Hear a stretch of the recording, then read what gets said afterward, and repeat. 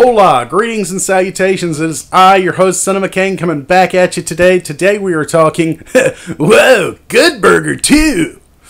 So, Good Burger 2. If you had told me that in 2024, now granted, the movie came out in November of 2023, but I'm still doing some house cleaning from last year. Uh, but if you had told me in 2024 you're going to be doing a sequel or you're going to be doing a review to a sequel, a review to a sequel you never thought was coming.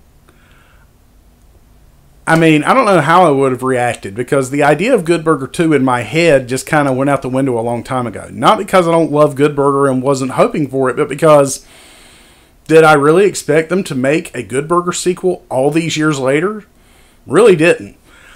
Um, I'm glad they did some of the jokes in this really, really work. And I mean, they work like gangbusters. Um, the big thing that works the most is Kenan and Kel are just as funny as ever together in this.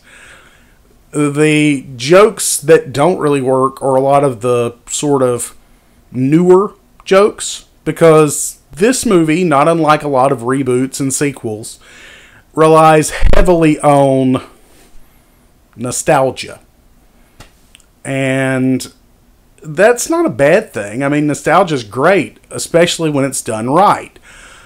Uh, there are aspects of this movie that really pull the nostalgia strings hard and make you go, oh, I see what they did there. That's great. There are other aspects of the nostalgia in this that go, okay, that was a little too forced. A lot of the humor from the younger characters in the movie that aren't Ed and Dex don't come off as great and I'm not saying that to be mean or to say that these young kids don't have talent because some of them do have talent. But I will I do feel like the younger kids in this are simply there as filler to try and pull in a younger audience with the parents that are coming for Kenan and Kel. I don't think it's a bad movie, but I don't think it's a great movie.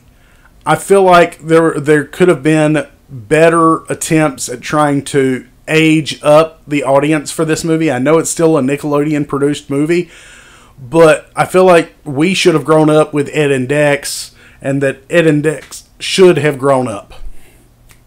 So, that's my review. I truly did enjoy revisiting these characters because who doesn't love Good Burger?